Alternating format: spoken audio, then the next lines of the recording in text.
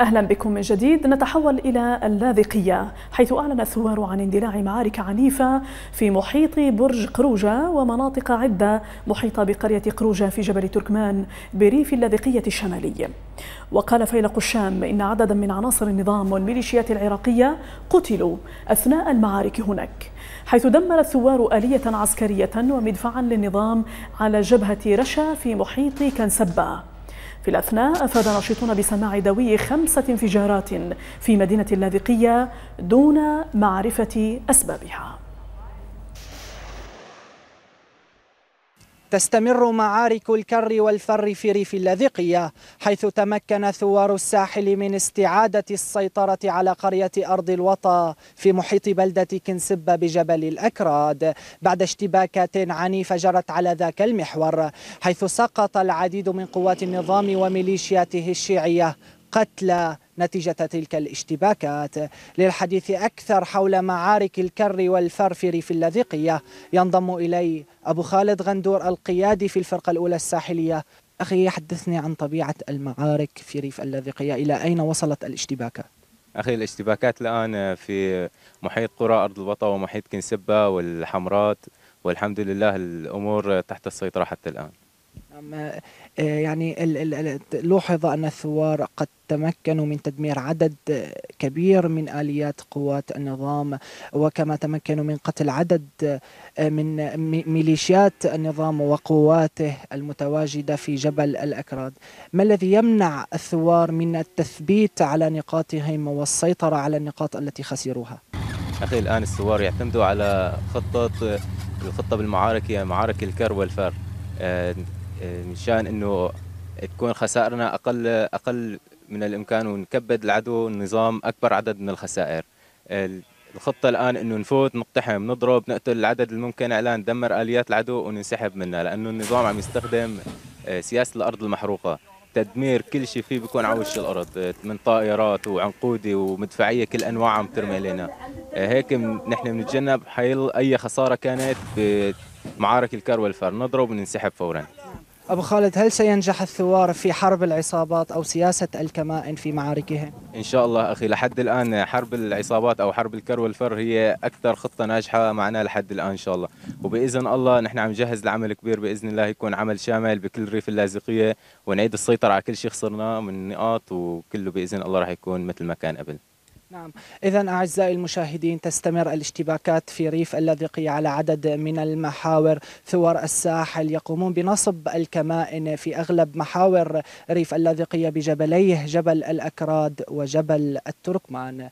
محمد الأشقر أورينت نيوز ريف اللاذقية يبقى معنا محمد الأشقر مراسل أورينت نيوز من ريف اللاذقية. محمد أهلا بك. أولا ما التطورات الجديدة في جبل التركمان؟ مع اندلاع هذه المعارك العنيفة في محيط برج قروجة ومناطق عدة محيطة بها. نعم راضية طبعا ضمن سياسة الكر والفر وحرب العصابات والكمائن التي يخوضها الثوار في ريف اللاذقية جرت اشتباكات عنيفة في محيط برج قروجة ومحيط برج البيضاء في جبل التركمان. طبعا تمكن ثوار الساحل اليوم من قتل ما يقارب الخمس عناصر لميليشيا الأسد. الطائفية في محيط برج قروجة. طبعا اثنان منهم قتلوا قنصا والثلاثة الآخرون قتلوا نتيجة الاشتباكات التي دارت في تلك المنطقة. طبعا الثوار مدفعية الثوار بدورها استهدفت تجمعات النظام و شبيحته وميليشياته الطائفية في برج قروجة بقذائف الهاون وصواريخ الكاتيوشا والرشاشات الثقيلة المتمثلة برشاشات من عيار 23 ميلي وأيضا آه، من رشاشات من عيار 37 ميلي. طبعا الأمر هو ذاته في محيط لكن برج آه، محمد الأشقر آه، وردنا أن الثوار سيطروا بالفعل على قرية قروجة هل ذلك صحيح؟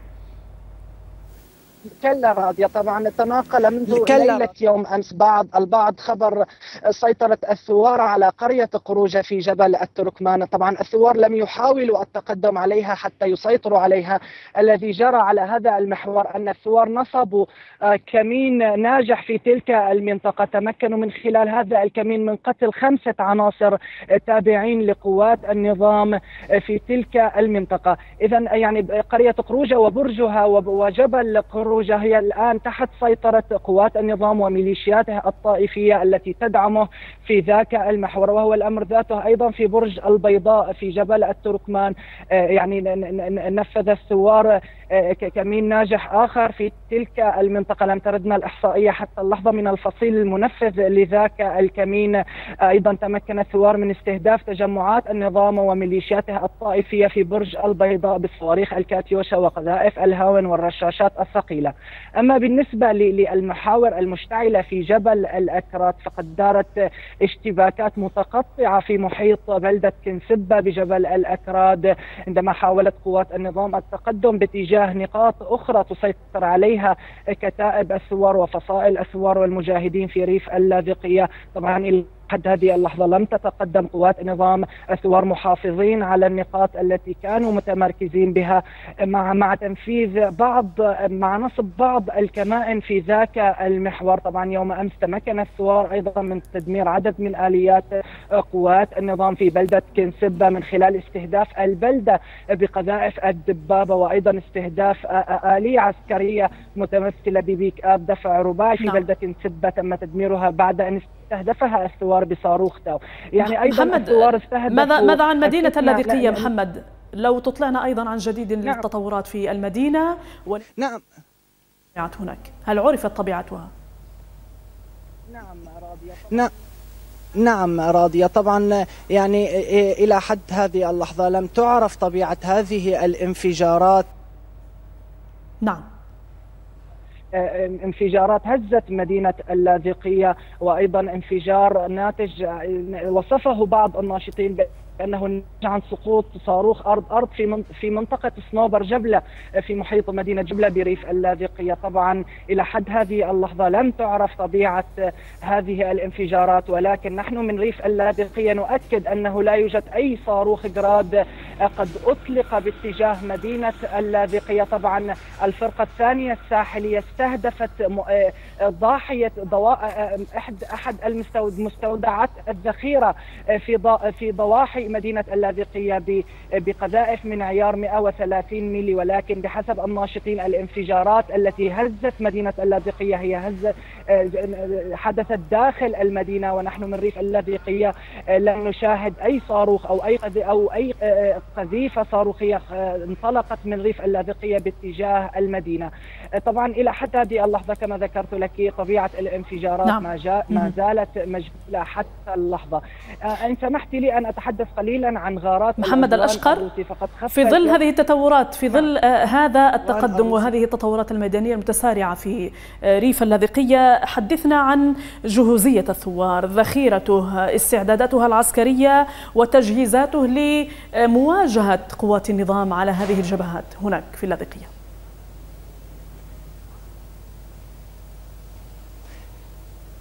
نعم راضية طبعا ما نراه في أعيننا نحن وجميع المدنيين وجميع الناشطين يعني أن جاهزية الثوار هي يعني جيدة نوعا ما يعني توجد لديهم كم من الذخائر بحسب بعض القادة العسكريون. سألناهم نحن عن هذا السؤال وأجابوا بأنهم يمتلكون ما يكفي من الذخيرة ولكن العائق الوحيد أمام تقدمهم واستعادة السيطرة على النقاط والتثبيت في النقاط التي يتقدمون عليها هو طيران العدوان الروسي. الروسي وراجمات صواريخه والقنابل العنقودية المحرمة دوليا طبعا. جميعنا رأى أن نظام الأسد, نظام الأسد وحليفه الروسي يتبعون سياسة الأرض المحروقة في ريف اللاذقية. سبق وأن اتبعوا هذه السياسة في مصيف سلمى بعد بعد ما يقارب الثلاثة أشهر أو الثلاثة وتسعين يوما من الاشتباكات في محيط مصيف سلمى بعد أن تمكنت قوات النظام من تدميره بشكل كامل لهذا المصيف. نتيجة غارات العدوان الروسي المكثفة وراجمات صواريخ تمكنوا من دخول هذا المصيف والأمر ذاته بالنسبة لناحية ربيعة في جبل التركمان. وأخيرا في بلدة كنسبة بجبل الأكراد. إذا العدوان الروسي يتبع سياسة الأرض المحروقة سواء بتكثيف غارات طيرانه الحربي المتطور والحديث أو حتى من خلال استهداف قرى وبلدات نعم. ريف اللاذقية براجمات الصواريخ المتطورة والحديثة وحتى بتكثيف استهداف هذا الريف بالقنابل العنقودية المحرمة دوليا وحتى البوارج الحربية لم تتوقف عن استهداف مناطق ريف اللاذقية حتى الحدودية منها بالصواريخ البالستية. طبعا يعني راضية تحدثنا كثيرا حول هذا الموضوع وجميع القادة العسكريون قالوا أنهم جاهزون وعلى أتم الجاهزية. طبعا وصلت مؤازرات من من من من مدينة إدلب من فصائل من الفصائل المقاتلة في إدلب المتمثلة بالفصائل الإسلامية كحركة أحرار الشام وفيلق الشام وأيضا جبهة النصرة وأيضا بالإضافة لفصائل الجيش السوري الحر. يعني عدا عن فصائل الساحل التي رفعت الجاهزية وأعلنت النفير العام منذ بداية هذا العدوان على ريف اللاذقية ولكن كما ذكرت لك سياسة الأرض المحروقة تمنع الثوار من التثبيت في نقاطهم ولكن إلى حد هذه اللحظة سياسة الكمائن وحرب العصابات يبدو أنها تمام. قد آتت نعم. أكلها حتى اللحظة نتيجة ارتفاع عدد قتلى قوات النظام وانخفاض قتلى الثوار آه، من خلال هذه السياسة طبعا راضية يعني اليوم اليوم خف نوعا ما طيران العدوان الروسي خفت غارات العدوان الروسي على ريف اللاذقية اليوم يعني حوالي الغارتين أو ثلاث غارات نفذها طيران العدوان الروسي في محيط آه، آه، قرية قروجة التي تدور فيها اشتباكات في حين كثفت مدفعية العدوان الروسي وراجمات صواريخه آه، من قصفها لقرى وبلدات ريف اللاذقية خصوصا الطرقات الواصلة بين بين جبلي الأكراد والتركمان وحتى شكرا. بين آه، آه، جبل التركمان وريف جسر الشغور الغربي المتمثل بقريتي بدامة والناجية نعم. نشكرك جزيلا على هذه المعلومات محمد الأشقر مراسل أورينت نيوز من ريف اللاذقية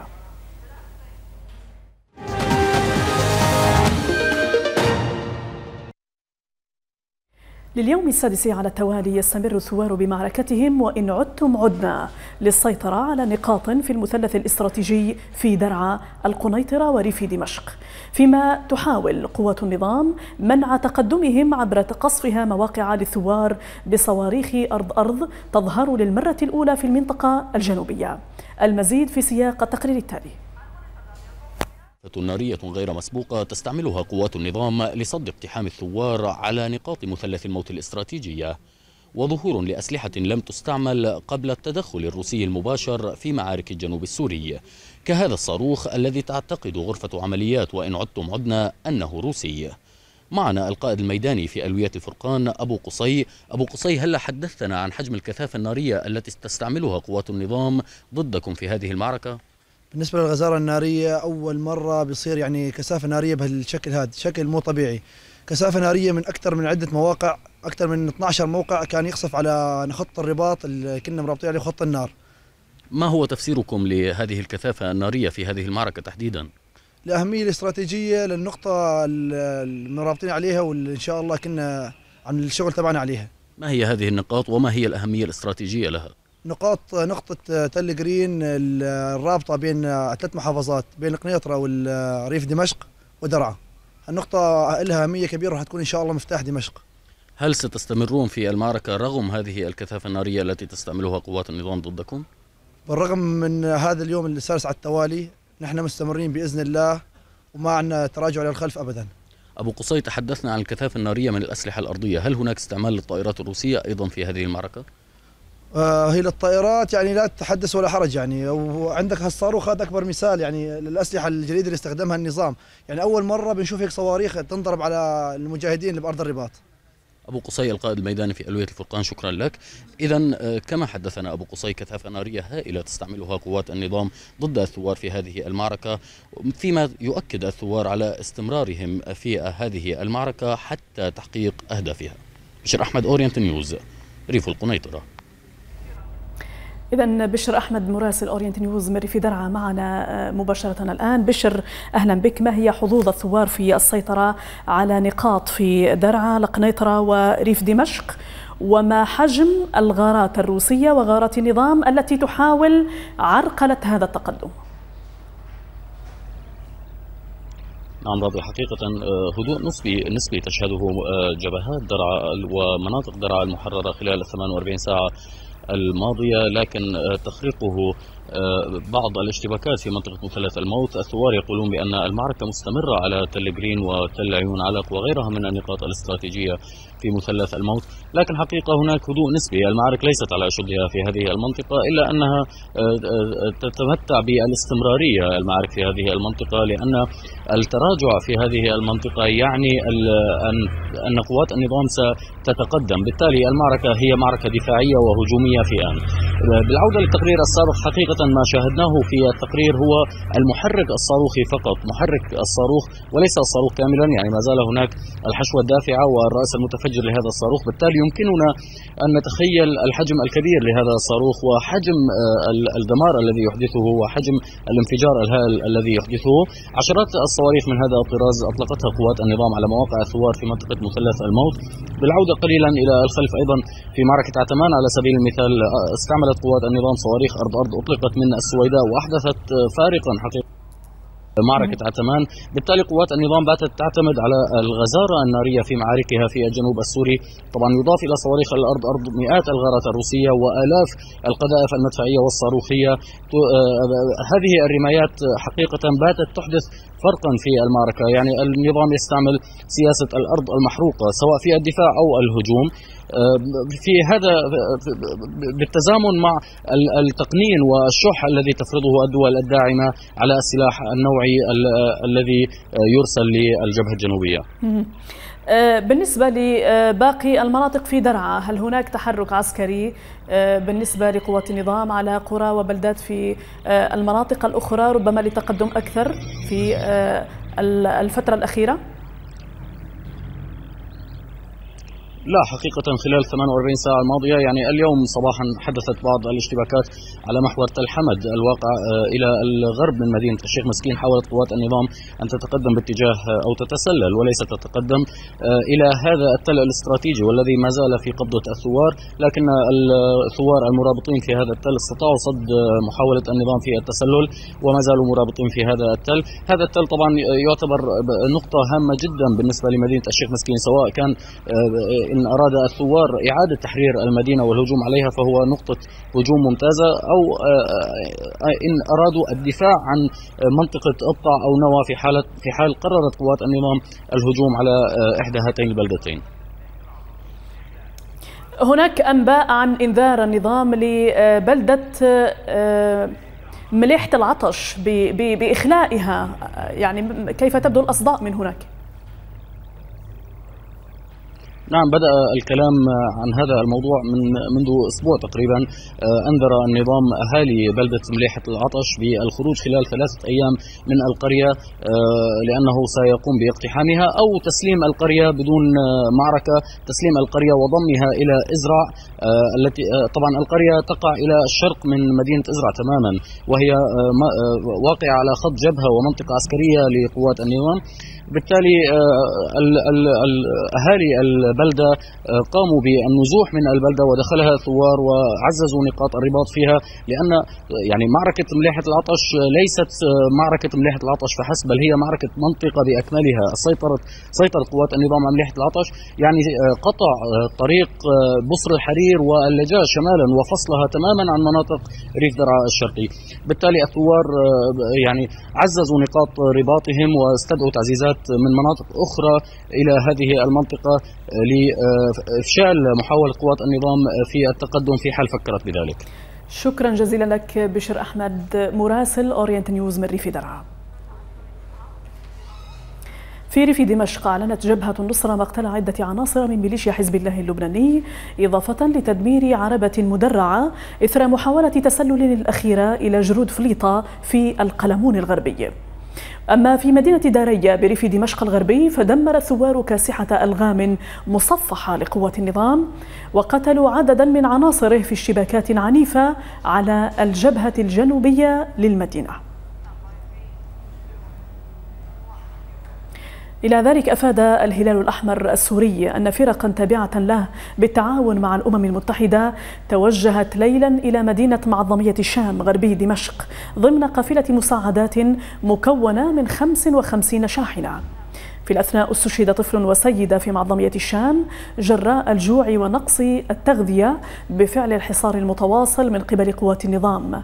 وعرضت تنسيقية المعظمية مقطعا مصورا للشهيد الطفل خالد فضل الله وتظهر عليه آثار الهزال الشديد بفعل الجوع ونقص التغذية. لاحظ غياب الكامل للنسيج الشحمي وبدء الانحلال بالكتلة العضلية حاليا على التنفس الاصطناعي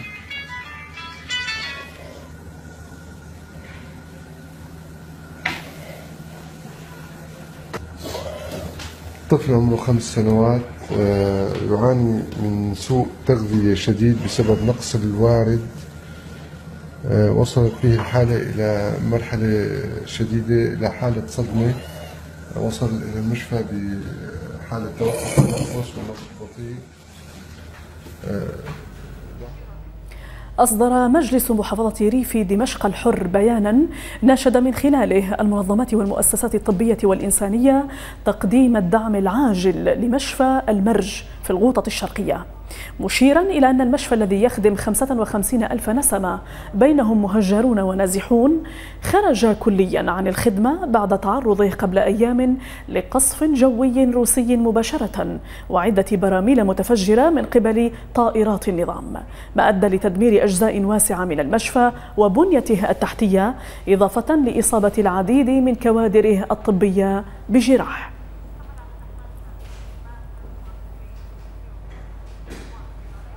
معنا محمد عبد الرحمن مراسل أورينت نيوز مري في دمشق. محمد أهلا بك. أطلعنا عن جديد التطورات في دمشق خاصة فيما يتعلق بحجم المساعدات التي وصلت المعظمية حتى الآن. آه، نعم راضية. مساء الخير. مساء الخير للسادة المشاهدين. مساء آه، بالفعل طبعا قبل أن أتحدث عن موضوع المساعدات. نعم.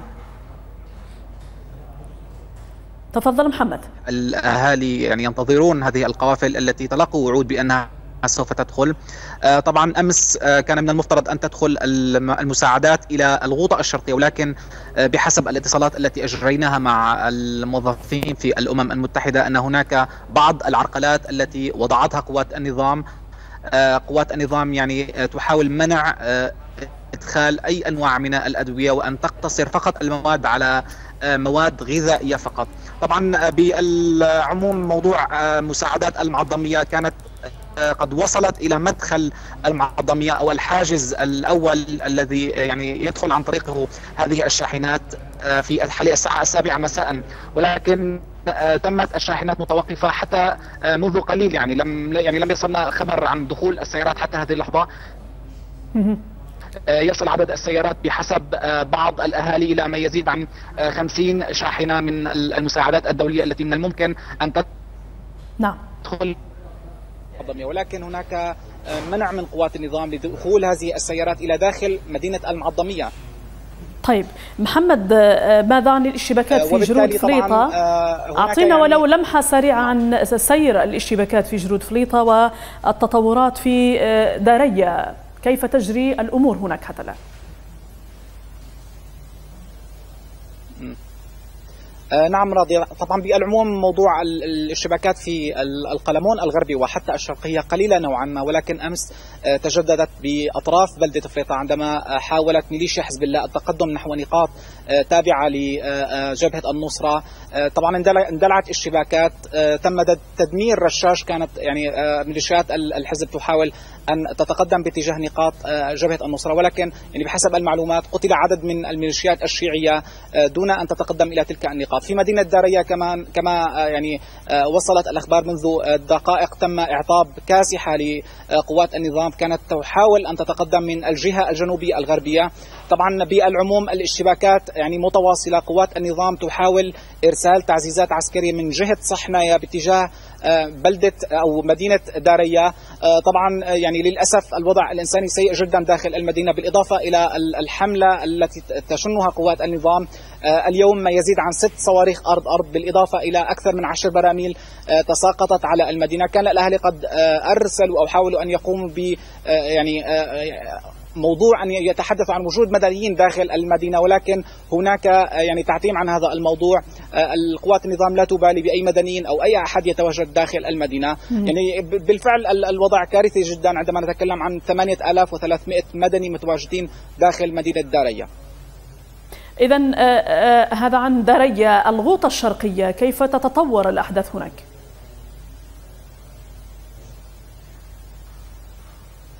عموما آه، رضي الغوطة الشرقية الطيران الروسي يعني يغيب اليوم عن سماء المنطقة في ظل الحديث عن موضوع تهدئة قد يحدث ولكن الاشتباكات لا زالت متواصلة على جبهات المرج. آه، قوات النظام يعني منذ ساعات الصباح تحاول أن تشن هجوم واسع على محور الفضائية في منطقة آه، المنطقة المحيطة لمطار آه، مرج السلطان العسكري، طبعا لم يعني تصل أي حصيلة عن تدمير أي عربات لقوات النظام أو أي خسائر ولكن بالعموم يعني الحملة عنيفة جدا وهناك تخوف كبير من أن تصل قوات النظام لثلاث فرزات الاستراتيجية. وبالتالي يعني سوف يكون الوضع مأساوي بالنسبة للمزارعين الموجودين في تلك المناطق. المناطق لأن قوات النظام سوف آه، تكشف مناطق واسعة من الأراضي الزراعية وبالتالي سوف يكون وباء عليهم وعلى الأهالي الموجودين في تلك المنطقة. شكرا جزيلا لك محمد عبد الرحمن مراسل أورينت نيوز من ريف دمشق. يعاني آلاف النازحين عند معبر باب السلامة الحدودي أوضاعا إنسانية صعبة دون الالتفات لمحنتهم من قبل المجتمع الدولي. الانتظار هي المفردة البارزة في قاموس اللجوء السوري. انتظار حتى سقوط النظام انتظار حتى يعودوا لبلداتهم انتظار عند الحدود. آلاف من أبناء ريف حلب الشمالي في العراء عند الحدود السورية بانتظار السماح لهم الدخول إلى تركيا. ينتظرون هناك عند باب السلامة. باب يراه الفارون من القصف الروسي لا سلامة فيه حتى اللحظة. وربما تأتون للعزاء بنا وإن لله وإن إليه راجعون يقول اللاجئون. ما بعد سنة فرج الله علينا. غير هيك ما ظل ما سنة فرج الله علينا. يا أما برحمنا رب العالمين يا أما دور الفاتحة على روحنا. كل شيء عم يسمعنا هلا شو يقرا الفاتحة على روحنا ويقول والله الله يرحمهم. كانوا. بضع خيام في ظل البرد والمطر وسوء الأحوال الجوية لن تكفي حتما لآلاف النازحين. سيكون الموت مطاردا لهم حتى بعد نجاتهم من قصف الروسي لا يبقي ولا يذر. جابونا لهون حطونا لهون تحت المطر. الخيام بالمستودعات وما عم يعطونا شيء الخيام بالمستودعات والأطفال برا. من كم نهار ماتت طفله عمرها أربع أشهر. أربع أشهر عمرها ماتت من شدة البرد بالهنجار. يعني وين نروح في حالنا؟ حاج هي المطر وهي البرد ما حدا بيسأل علينا. لن يذهب أطفال سوريا إلى المدرسة. لن يطالبوا بلعبة تناسب براءة طفولتهم. لن يطالب الطفل السوري فقط سوى إنقاذه من محنته الإنسانية. فقط أن يدخل لمكان فيه الأمان والسلامة عبر باب السلامة. نحن من مدينة الرفعات جينا الجيش كان عم يقتحم علينا طلعنا الساعة 12 بالليل على كفر كلبين وتاني نهار جينا على المعبر على باب السلامة. بعدين أخذونا بركونا بهناجير كل هنجار فيها شات 80 90 شخص. العالم باركة فوق بعضها كلها أطفال وولاد في ناس عم تموت من البرد. تقول الحكمة الصينية إن الصورة تغني عن عشرة آلاف كلمة فالصمت في حضرة صورة الخيام. تنبئك بكارثة إنسانية لا سابق لها. إذا لا تعليق. أسامة حميد أورينت نيوز. ختام جولتنا الميدانية لهذا اليوم. إليكم تذكيرا بعناوينها. تنظيم الدولة يسيطر على بلدة خناصر الإستراتيجية وكتيبة الدفاع الجوي في ريف حلب الجنوبي الشرقي. أنباء متضاربة حول استعادة تنظيم الدولة مدينة الشداد بريف الحسكة وقوات سوريا الديمقراطية تنفي. قتلى لحزب الله في معارك أو معارك مع جبهة النصرة بجرود فليطة في ريف دمشق الغربي. تابعونا دائما على موقعنا الإلكتروني orient-news.net إلى اللقاء.